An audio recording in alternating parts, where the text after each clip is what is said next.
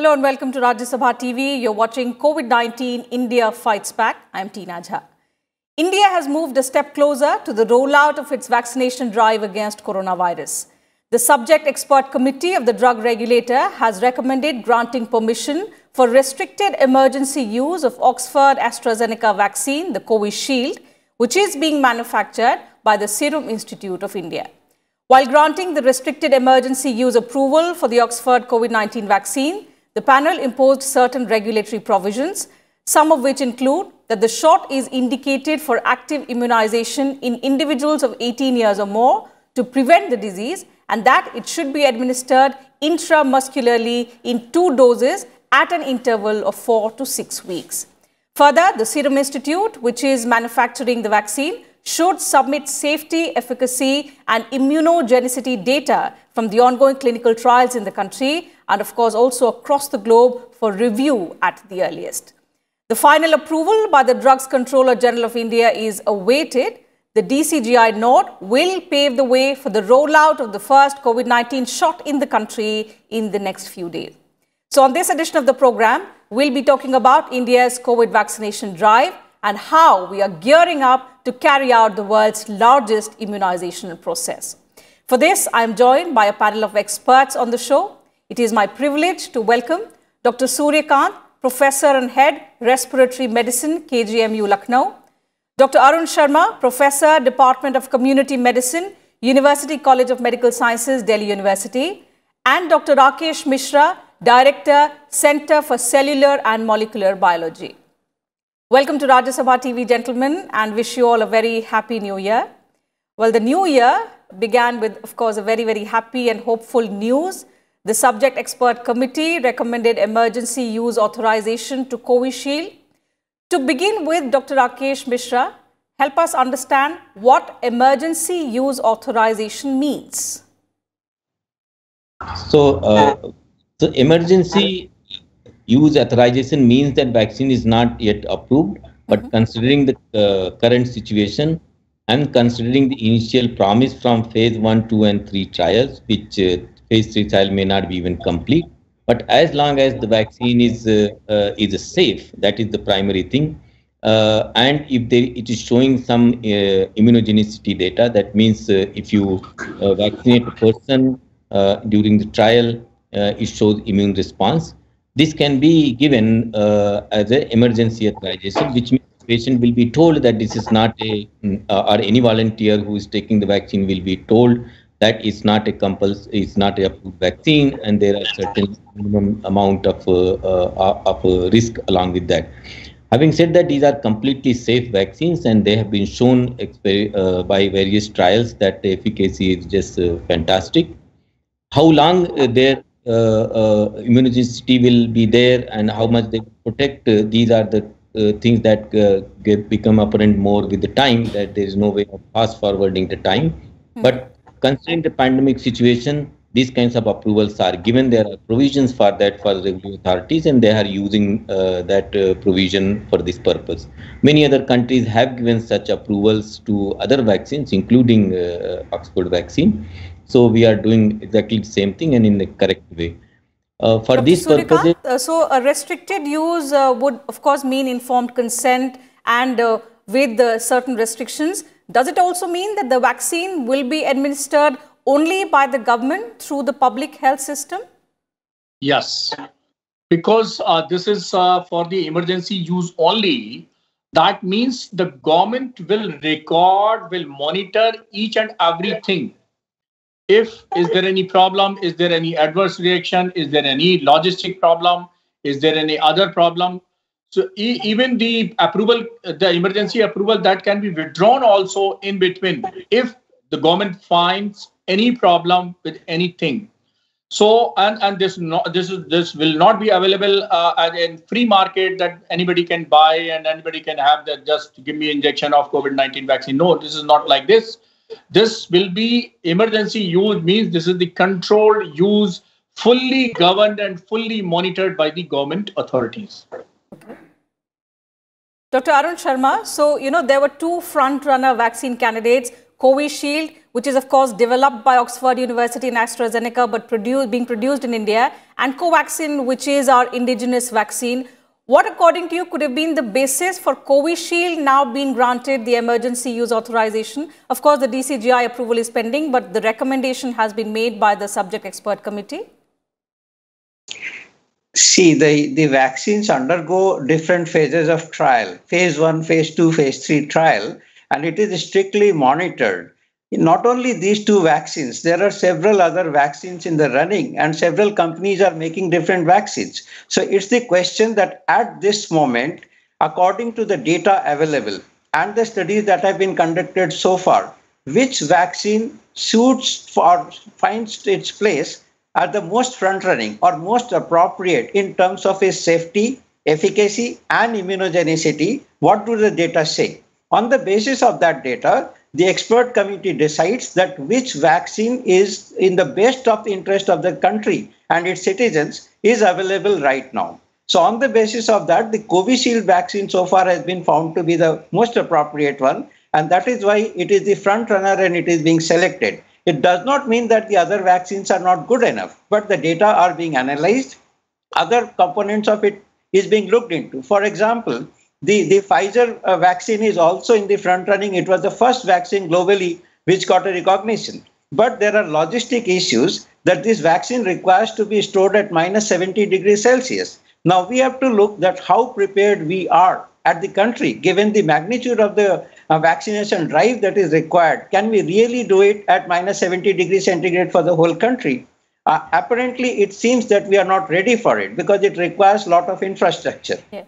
So Taking all parameters into consideration, Covishield finds itself in the best condition to be rolled out first. Talking about the vaccination drive now, Dr. Surya Kant, a common question that comes to mind is, will vaccination mean a normal life which can be free of masks and preventive measures? So in the first phase, whoever gets both doses of the vaccine can actually lead a normal life. Does it mean that?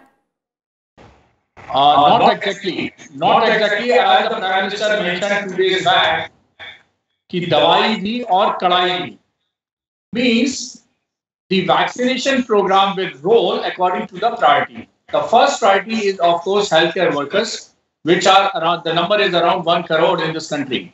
Mm-hmm. The second priority is for next two crore frontline corona warriors, including the security personnel and the Safai Karamchari. The third group is the elderly people 50 plus and those who are already diseased, means disease by diabetes, hypertension, heart disease, kidney disease, liver disease, whatever it is. So it is the phased out program of the vaccination, not a general program. This means that at least three, four months will be given for the priority vaccination people, means the corona warrior, healthcare workers, and the diseased person, elderly person, and the general people, they will get only after three to four months. And still, if somebody is vaccinated, that doesn't give you guarantee that you will not be exposed by the COVID-19. The protection rate of different vaccine, including the Covishield, is roughly 90% or 95%. So 95%, even the maximum efficacy, that also means the 5% can develop COVID infection again, even after they vaccinated. So that is vaccination is not the guarantee that you will become the before COVID era, like before COVID era. You have to have the follow all rules of prevention means hand washing, wearing of the mask, and physical distancing. All three rules have to be followed. That vaccination program or the rolling out vaccination program does not provide you the guarantee that you will uh, leave everything. Perhaps that explains the Prime Minister's New Year slogan that Dawai bhi, Kadai bhi. So the preventive measures going forward in the new year are also going to continue. Dr. Rakesh Mishra, herd immunity is something that's been talked about quite a lot over the past few months. So will vaccination make a difference in reaching herd immunity? So essentially that is the purpose of vaccination. We don't have to vaccinate all our 140 uh, crore people. If uh, significant numbers by natural means or by vaccination can give a speed uh, breaker to the virus, then uh, uh, we don't need uh, every each and every individual to be vaccinated. So uh, it certainly will uh, help in herd immunity, which is gradually building. And slower it is, better it will be because, which means more people will not fall sick in one go. And vaccination is the way to accelerate that herd immunity process, which is what is going to be to be used for. Having said that, I must like to add and echo my sentiment with the the previous panelists that the vaccine can backfire for this pandemic because people may get the false uh, sense of protection that vaccine has come. Now i can uh, dispose of my mask. The as you heard that uh, protection is not 100% efficacy can be anything between 60% 70% 90% depending upon which vaccine you are and so that means certain percentage of people will not respond it takes one and a half to two months for the vaccine effect to be fully in place so that even if you have been vaccinated, begin vaccination today, nobody will be protected for one and a half months. It will uh, start only after that. And you just heard that in the beginning, vaccination will be to selected people who are in the front line. So that means for Aam Aadmi, the vaccination is at least six months, if not a year away. That is too much of time to sit, to relax, uh, dreaming of the vaccine. We have to fight this pandemic without vaccine, without drug. And we know how to fight it, and that's what we have to use. Vaccine will help us, certainly, as you mentioned, it will help us in triggering the herd immunity. And maybe after six, eight months, gradually the number will increase and we will start to uh, uh, uh see the victory signs uh, in front of us.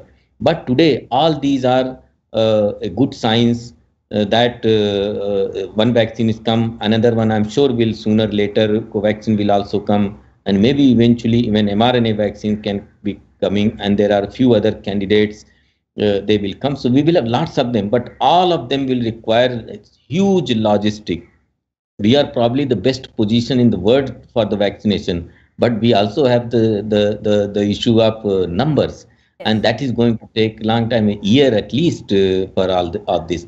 So but uh, this pandemic is spread so fast it can we have been able to manage this so beautifully so far that in spite of our limitations in spite of this number uh, we we are among the top countries uh, in terms of uh, low mortality and uh, people who have got rid of the of the thing.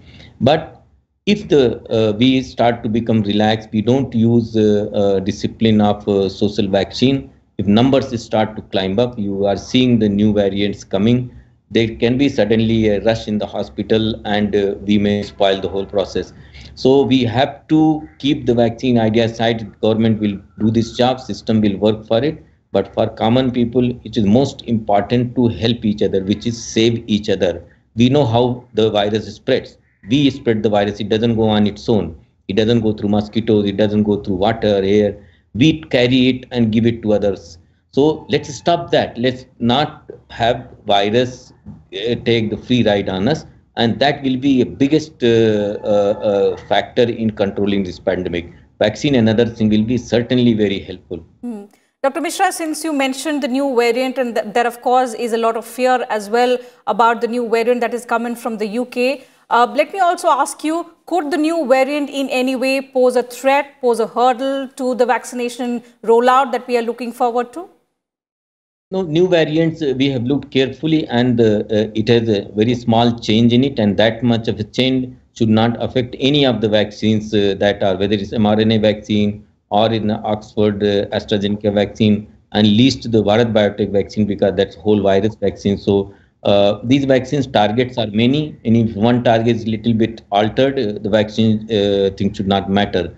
Uh, whether it's new variant of UK or please remember that we are the largest reservoir of virus today after the United States. So new variants are likely to emerge from within the country. So we have to be that's why very watchful and let this virus not have a free run in large number of people for a large amount of time because later you might have a variant which might uh, give us trouble in in the vaccine response as well. So we have to be extremely careful. They don't need to panic. Once since we know what are difficulties, we can manage the difficulties if we take proper care. Dr. Um, uh, Sharma, because we're talking about the new mutations, if the mutations continue to occur, because that's what been uh, told by scientists that the virus will continue to mutate, if it continues uh, going forward as well, will it mean that the vaccines will have to also be recurring in nature? Okay, let us so understand the impact of mutation on the disease as well as the virus behavior. Virus has a tendency to mutate and it yes. continuously mutates. So some of the mutations are favorable to the human being. That means they reduce the infectivity and virulence and fatality of the virus. And some of the mutations are favorable to the virus.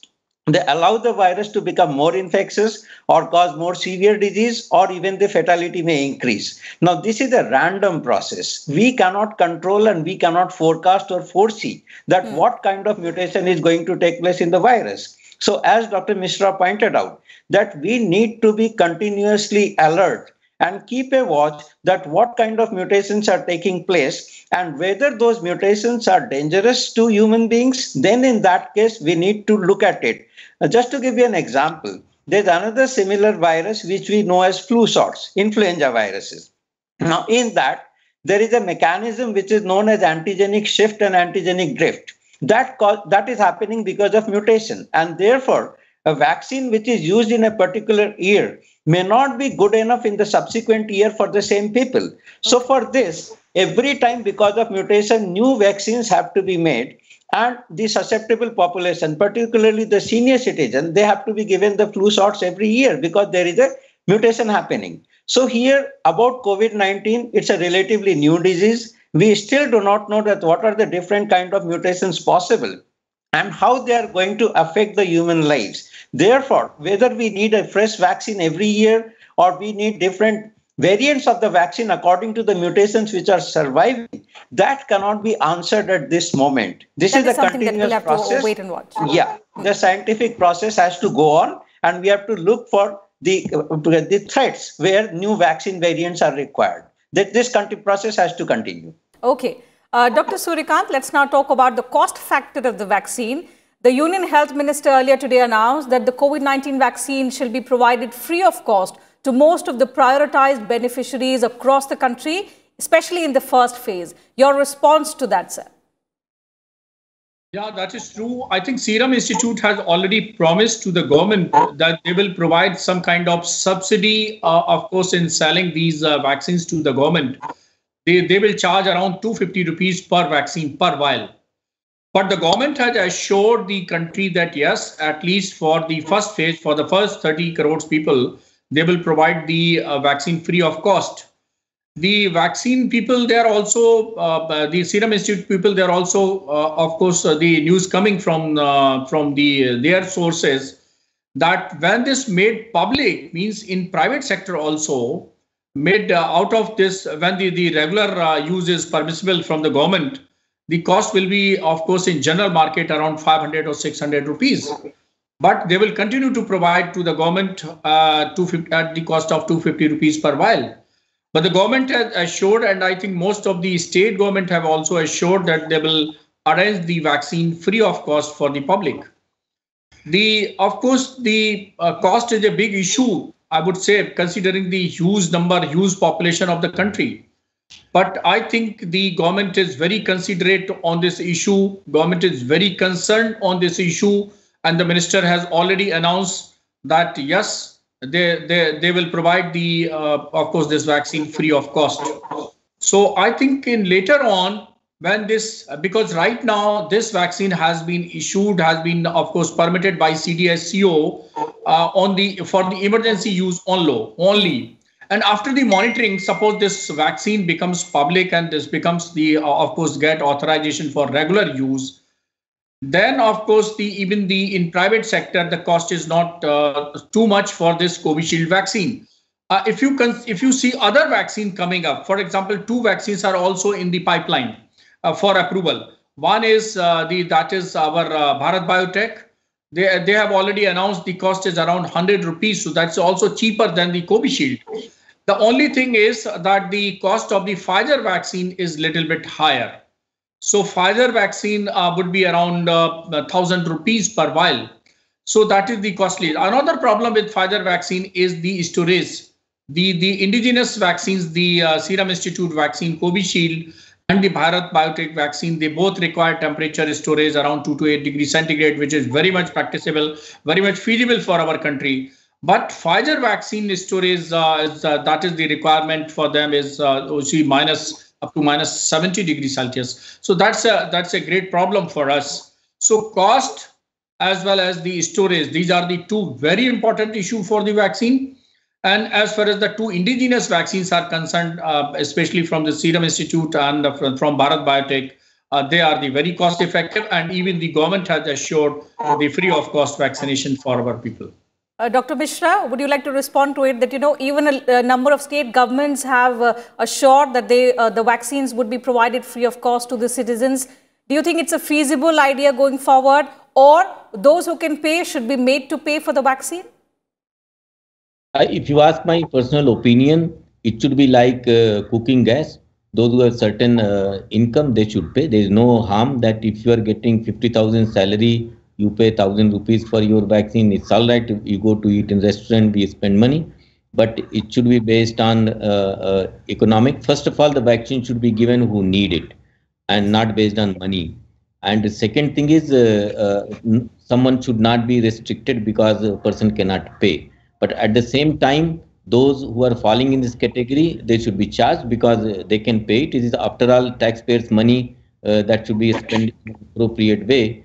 Uh, uh, and uh, that is for government to decide. But like any healthcare system, we have to see that. Please remember that it is vaccination is a collective response. Even if some people get vaccinated, that doesn't mean the pandemic is gone. If for long the virus is hanging around, it may come back like common flu to you again. So that vaccination is useless. The vaccination is useful only when large number of people get uh, uh, uh, vaccinated and rest are uh, trying their best to reduce the pandemic. That is very important thing. It's not a drug that you take and you can uh, you can be cured. Vaccine is a collective process. So you have to see how maximum number of people get it. So some should pay, some should, government should support, some uh, maybe corporate social responsibilities can come in. I mean, we are a huge country and lots of resources of various kind, and we have responded to many such things in past.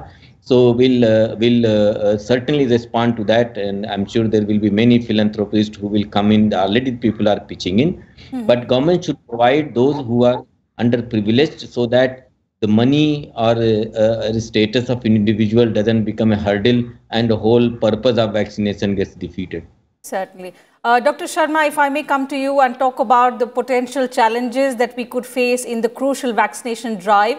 Although we've been preparing well for the past several weeks, the past experiences also show that uh, there is a lot of need for improvement on some counts, particularly if we talk about the cold chain network. The vaccines will be temperature sensitive.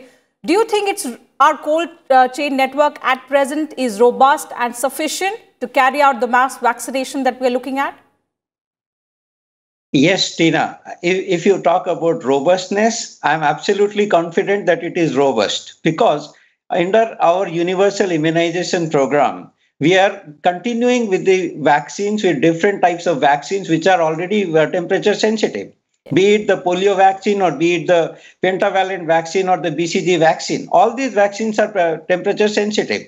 And the infrastructure in, is, is in place at the state level, at the district level, at the block level. And for these vaccines, even at the primary health center and community health center level, we have adequate arrangements. Even electricity supply may not may be a little erratic. There are alternate arrangements which are provided for storage of these vaccines so that a vaccine is not wasted just because the cold chain could not be maintained. So definitely across the country, when we have achieved 80 to 85% vaccination with other vaccines in the given cold chain system, I don't see any reason that why this uh, cold chain cannot be available for the uh, COVID vaccine also. But when you talk about challenges, there are definitely issues that the universal immunization program so far has been covering hmm. only the under five children and the pregnant women. Now we are looking at the entire adult population of the country 18 years and above who require to be vaccinated. So definitely the challenge is bigger. And we need to provide larger storage space. We need to be more careful with the logistics for transport of the vaccine from uh, from the site of its manufacture to the last uh, last person who's going to receive it. So it's definitely a bigger challenge.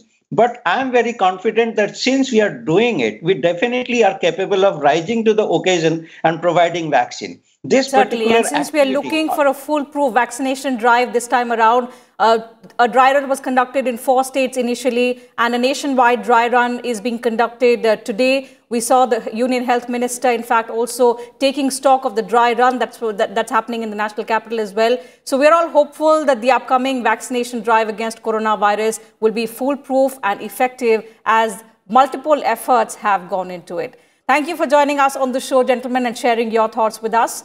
Uh, before I leave, I want to urge all our viewers to stay safe from the COVID-19 pandemic. Let me remind you, the pandemic is not over yet, so continue to wear your masks, wash your hands and face regularly, and of course, maintain social distancing whenever you step outside. These very simple precautions by you can help you defeat the pandemic. That's it from us on the program today. Thank you very much for your time.